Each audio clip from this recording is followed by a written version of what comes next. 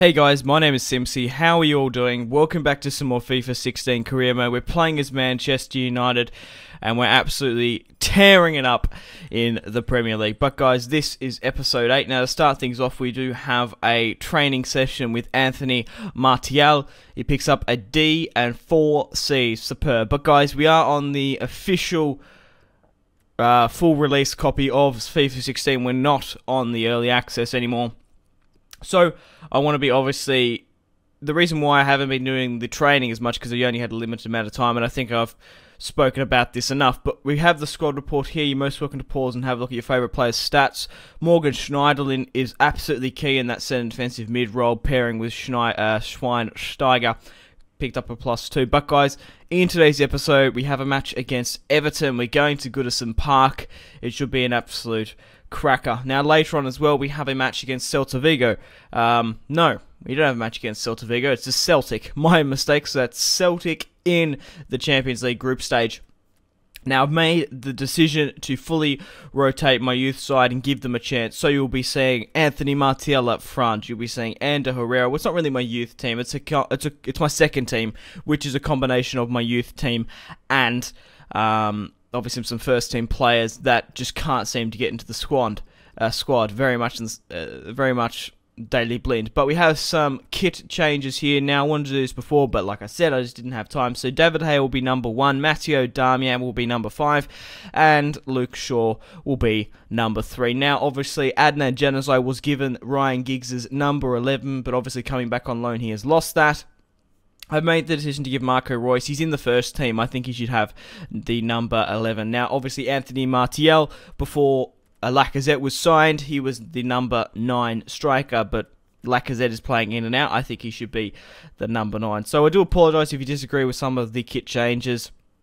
Please don't get too hung up on it. But we're currently seven wins into the Premier League, one draw, and Liverpool are in dire straits.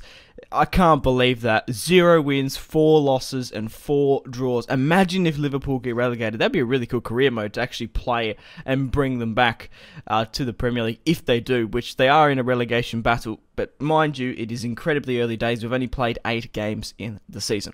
But I'm going to be hopefully training Anthony Martial for probably about a month, and then I'll probably switch to a play. He picked up an A, a D, and three C's. So he's gone up to a 78 overall. Definitely a player for the future. I like our our French sort of vibe we've got going, but we have a match against Everton here. Chelsea are currently second, Newcastle are third, Leicester are fourth, and Sunderland are fifth. So a lot of I don't know teams that didn't make the top didn't made the top four last year aren't in there at the moment. But Ashley Young, I forgot as well, will be facing his former side today. We managed to sell him to Everton for 15 million. The Toffees um, accepted that for some reason, but uh, we managed to bring in Yannick Bolasie. So hopefully he can perform here today. But guys, if you are enjoying this Manchester United career mode, please leave a like to support this series and my channel, and subscribe if you're new around here. Also, let me know in the comments. I know it's still a little bit away, but let me know in the comment section down below players you'd like me to sign in January. Hopefully, we can get out of the Champions League group stage, so we'll probably get some funds from that and some of the cups. But I don't really know who to sign. Obviously, I signed Lacazette, Bolasie, Reus, and Mats Hummels. So we've actually splashed the cash from first team players. So I'm kind of thinking of some youth. I think Youri Tielemans would be absolutely superb up front. I think having him as a long-term replacement for Bastian Schweinsteiger, who is quite old, or even Wayne Rooney, who is 30 years of age as well. So they will be retiring. Uh, for in this career mode, I'm going to be going until FIFA 17, to be perfectly honest. I did 10 seasons last year with Real Madrid and Manchester, so hopefully I can replicate the same. But let me know in the comments, where do you think I'll I'll finish in the league. We're doing absolutely fantastically with this squad. It's really gelling together. I'm really enjoying FIFA 16, so hopefully um, we can win the league, win the Champions League, and win the Cup this season. But as I'm saying this, we're absolutely getting dominated here by Everton. Naismith with the header hits the post. Incredibly unlucky there.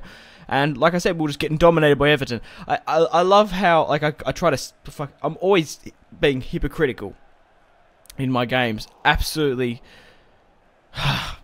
David De Gea, fuck me. He's kept us in this game. He's easily one of the best goalkeepers in career mode. I've never felt so confident with him up front, but we've got some tiki-taka football here. Marco Reus nearly falls over his feet, hits the crossbar, and claims the winner here today. Hopefully, with the new number 11, just before the 55th minute. Nice piece of play with, look at that back heel from Lacazette. It was back, it was a, a back heel to Lacazette. Then a 1-2 pass with Wayne Rooney and Lacazette. And then Reus manages to just get past Tim Howard there and hits the crossbar. I love how it just fucking slams straight down. But Marco Reus cutting back inside and yeah, let me know who do you think is going to be the top goal scorer. He is absolutely on fire at the moment. It's either going to be him or Lacazette, maybe, or could even be someone else.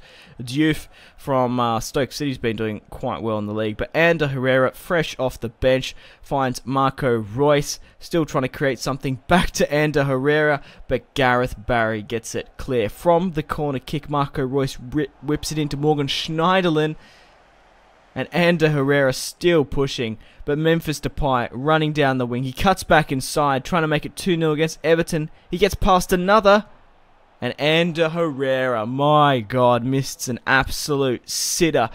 I don't know why he hit it so hard. Obviously, it's the first touch and just Shocking. Should have just even hit it like a little bit of a P-roller. But Kone on the ball brings it back to Ever Everton's Naismith. Whips it in. And David De Gea with the save of the match. My God, he's definitely kept us in this match. I really do feel bad for Everton, but David De Gea, absolutely superb. But we managed to scrape a... Oh, no, we haven't quite won it yet. 32 yards out in the 90th minute. Memphis Depay to score at this point no more than a consolation goal. Hits the post. Absolutely a cracker shot. But uh, we do manage to scrape the victory here today against Everton. 1-0. Whether or not we deserve those three points or not, David De Gea was on par. I'd be surprised if he didn't pick up the man of the match. But, uh, yeah. Oh, it was actually a little bit more even on the stats. But David De Gea picks up the man of the match. And how many saves did he? Six saves. That's absolutely crazy. Everton had six shots, three on target. Obviously, we had more than them. We have another training session here with Anthony Martial. I decided to actually try the training sessions to see how I went, and obviously got C on the first one, but I got an F defending, which uh, isn't the best thing. So I think I'm just going to uh, stay to simulating. But we have a match here against Celtic in the um, Champions League. We're currently 2 0 up on wins, and Celtic are just behind. Lacazette is currently the top goal scorer of the Champions League. Now, you might be wondering, why am I fully rotating the team? Well, I have a match against Manchester City on Saturday. We have this Champions League match midweek, so I want to fully re- uh, rest the squad so then I can have a, a fighting, fit team for the Manchester Derby. So I am going with a 4 2 3 1. It's sort of a youth slash players who can't get into the first team. So we've got Martial up front, Ander Herrera, Bolasie and Adnan on the wing on the uh, cams. Uh, we got Fellaini and Daley Blind in the centre defence. Then we've got Paddy McNair on the right back, Luke Shaw and left back. Probably the only we don't actually have a left back, so we might actually need to bring in another one in. The only player from the first team that will be playing here today and if he is tired in the Manchester City match, simple, we'll just rotate him with Daley Blind. But we have Rojo and Smalling and then Victor Valdes in goal. So hopefully we're playing at Old Trafford. We'll have the home field advantage, obviously. We can beat Celtic here today, but obviously Celtic are a quality team from the north. Scotland, so they'll be bringing their hard, brutal football down to Manchester. Hopefully, we can claim the three points here today and Victor Valdes uh, plays all right. But Yannick Bolasie on the ball finds Paddy McNair breaking down the wing for his Premier League debut. Whips it in. A little bit ambitious, but it was a decent ball. Adnan with the cutback, still pushing, gets taken down, arguably.